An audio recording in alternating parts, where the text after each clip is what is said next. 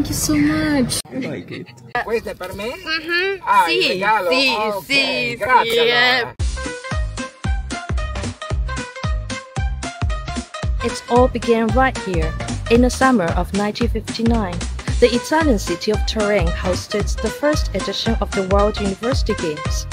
As I navigate through the streets of Turin, I'm searching for the very spots that host the memory of that summer. Maybe I just pointed it for you. Oh, great. Okay. Seven minutes. So, no problem. Yeah, you can go from there. Yep, to that, around. Around. Mhm. and be in the opposite side taking pics of Okay. the University Tower. Oh, that's great. Okay. Okay, thank you. Thank you, Glassy. Thank you so much. My journey leads me to the Grand Torino Olympic Stadium, the main venue for the 1959 Games. Standing before this iconic structure, I can almost hear the echoes of cheering crowds and feel the vibrant energy of athletes from around the world.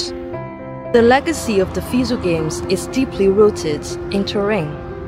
The city is once again in the spotlight as it prepares to host the 2025 Winter FISU Games.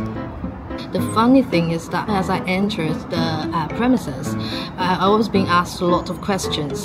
But as soon as I showed them my uh, media pass from last year, they all became very, very friendly and welcoming. Oh, that's nice. I think I'm the first one in Chengdu who's getting these. You're welcome. This is uh, really comfortable for uh, your key. Are you from China? Yes, I am. Oh, really? Yeah. These are postcards from Chengdu. Oh my god, I love. Third time. Oh, that's good. That's the football league uh, of Chengdu, so it's pretty, uh, pretty heated at the moment. Yeah. Thank you. That's, this is from my city, Chengdu. So it's just something really small. It's a postcard. It's a. Questo è per me? Mhm. Ah, il Sì, regalo? sì, Ok, sì, sì, yeah. allora. Lego. That you're interested, you can pick one or two or three. No problem. Ah, those two. Promoting my city in Turin feels like a privilege. I hope this sparks curiosity and interest, leading them to discover Chengdu's charm for themselves.